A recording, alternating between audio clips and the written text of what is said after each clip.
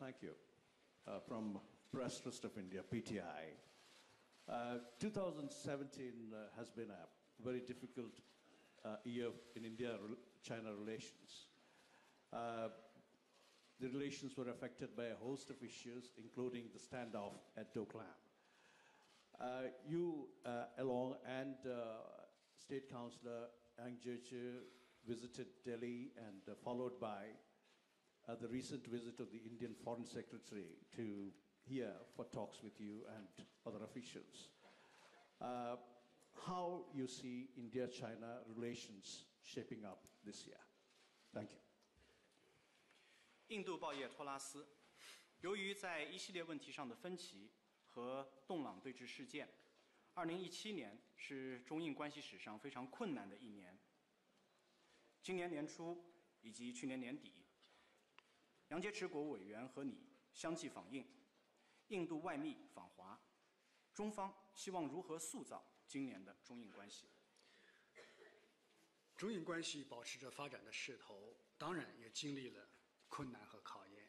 正像你刚才所说的，在此过程当中，中方既坚定维护了自身的正当权益，也积极顾全了中印关系的大局。对于中印关系的发展前景，两国领导人已经达成了。重要的战略共识，那就是中印要龙象共舞，而不是龙象争斗。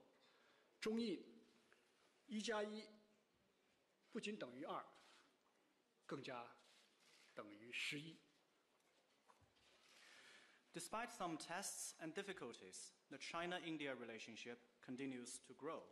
In the process, China has both upheld its legitimate rights and interests and taken care to preserve the relationship. Chinese and Indian leaders have developed a strategic vision for the future of our relations. The Chinese dragon and the Indian elephant must not fight each other, but dance with each other. If China and India are united, one plus one will equal not only two, but also eleven. 面对当面对当前国际呃局势的百年变局，我们看到越来越多的有识之士认识到，两个超过十亿人口规模的发展中大国相继走向现代化，最重要的是相互理解、相互支持。最应该避免的是相互猜忌、相互消耗。从这个意义上讲，中印之间迫切需要解决的问题就是互信，建立起政治互信。喜马拉雅山也阻挡不了相互加强友好交往，缺乏互信，一马平川也难使双方走在一起。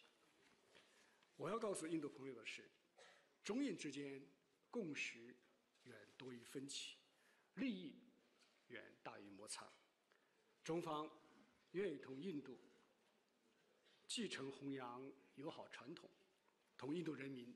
交朋友，做伙伴，希望双方打开心结，相向而行，用信任代替猜忌，以对话管控分歧，靠合作来开创未来。谢谢。The international situation is experiencing its biggest change in a century. More and more far-sighted people have come to realize that as the largest two developing countries, each with a population of more than 1 billion, become modernized, China and India must do everything to emphasize with and support each other, and to avoid mutual suspicion and attrition. In this sense, mutual trust is the most precious commodity in China India relations. With political trust, not even the Himalayas can stop us from friendly exchanges. Without it, not even level land can bring us together. Let me put this to our Indian friends.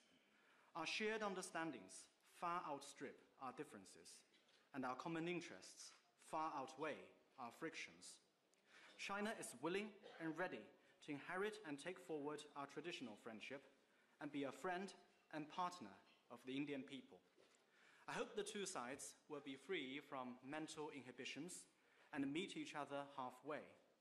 Let us replace suspicion with trust manage differences through dialogue, and build a future through cooperation. Thank you.